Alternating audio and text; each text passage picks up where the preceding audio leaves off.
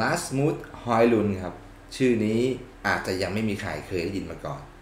ก่อนที่จะเกิด 2 นัดที่ผ่านมาของทีมชาติเดนมาร์กครับ เปิดตัวครับด้วยการเจอกับฟินแลนด์ทำแฮตทิก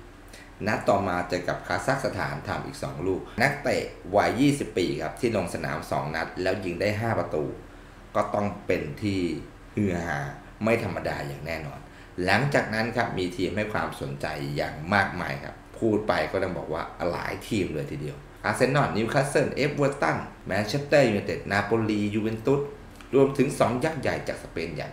เรอัลมาดริดและก็บาร์เซโลนาแต่ว่าทางด้านสื่อของเดนมาร์กเนี่ยบอกว่าทางด้านของฮอยลุนด์เนี่ยเขาให้สัมภาษณ์ไว้ว่า ถ้าคุณถามผม ผมก็จะไม่ปิดบังความจริงว่าผมเนี่ยเป็นแฟนบอลของแมนเชสเตอร์ยูไนเต็ดดังนั้นการย้ายไปอยู่กับแมนยูต้องเป็นเรื่องใหญ่สำหรับผมอย่างแน่นอน แต่มันไม่ได้หมายความว่าผมจะปฏิเสธในการย้ายตัวไปอยู่ทีมอื่น หากมีข้อเสนอเข้ามา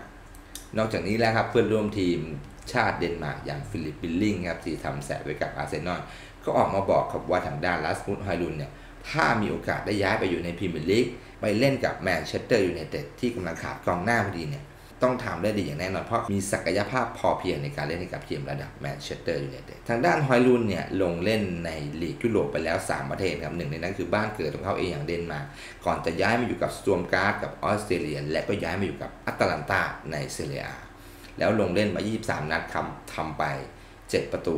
กับอีก 2 แอสซิสต์ก็อาจจะถือว่ายิงได้ไม่มากนะแต่หากเทียบกับวัย 20 ปี ความสูง 191 นี่ไม่ใช่กองหน้าในระดับที่ธรรมดาอย่างแน่นอนค่าตัว 40 ล้านยูโรครับที่อตาลันตาตั้งไว้